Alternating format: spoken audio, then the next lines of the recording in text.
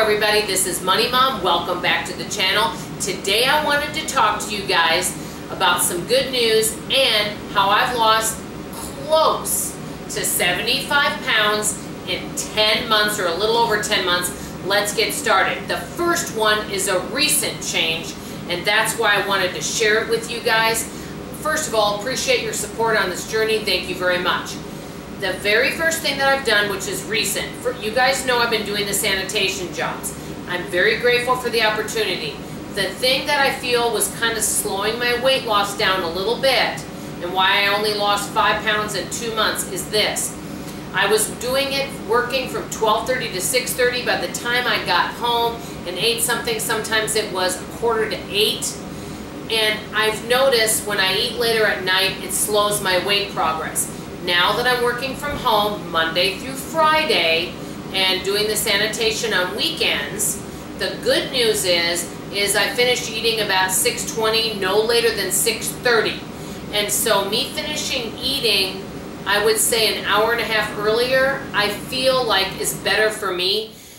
One of my best tips is if you can eat by 7 o'clock, in my book, from my personal experience, I notice that I lose weight quicker.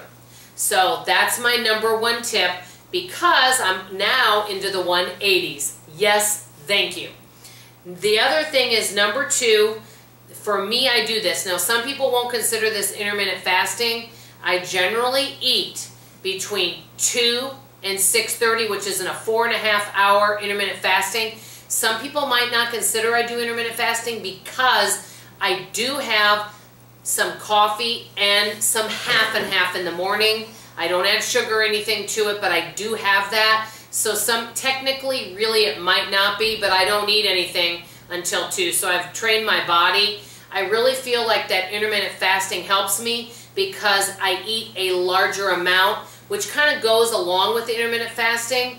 I used to graze, and now I eat a larger amount so that it stays with me and keeps me satiated full before I get to my next meal because it's all about stopping those cravings. I really feel like many folks that are on a weight loss journey, I know what this feels like. They feel like it's a punishment and it's drudge and they dread doing it.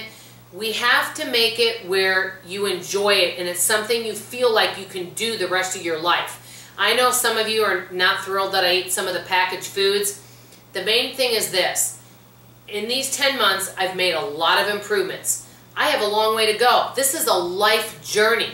Maybe next year at this time I won't be using any of that stuff. But for right now, if it helps keep me on track, when I look at how I used to eat and what I eat now, and I should do a video on that, you're going to be shocked at what I used to eat.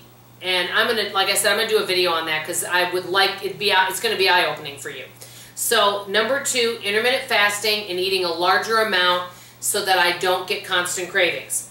Number three, I'm not doing strict keto. I call it modified. I probably shouldn't even label it that. But I eat a higher fat, higher protein diet, and I keep below the 100 carbs. The average person has 3 to 400 carbs. I stay below 100. I am incorporating more vegetables now into my diet because I feel like I need some more of those carbs and I feel more energetic and better when I have them. And so I do have more vegetables now in my diet. And number four, I really make sure that my meals have some high fat and some protein in there. For example, the cottage cheese fills me up. Sometimes I'll make something with some half and half or full fat whipping cream, some raw almonds. Salmon is one of my favorite things. That'd be something else or some chicken breast, something that's going to fill me up, that's going to stay with me. Eggs would be an example of that. So I think about those types of things. And if I have a dessert, I just have a very small amount so that it doesn't get my cravings going. So these are the four tips I have. My advice to anyone that wants to go on a health journey is be gentle to yourself, start out small, think about, is this something I can do for the rest of my life?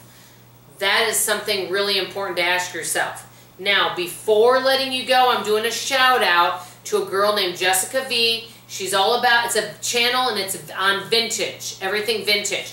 But the reason why I thought you'd like it is she has some videos on vintage foods and recipes from the 1950s. She doesn't upload videos very often, but I think you guys would really enjoy those. If you decide to visit her, the videos are very short, let her know Money Mom sent you. That's all for now. Let me know some of your best weight loss or weight maintenance tips that are for life, not just temporary. This is Money Mom signing off, and as always, I love you. Bye-bye.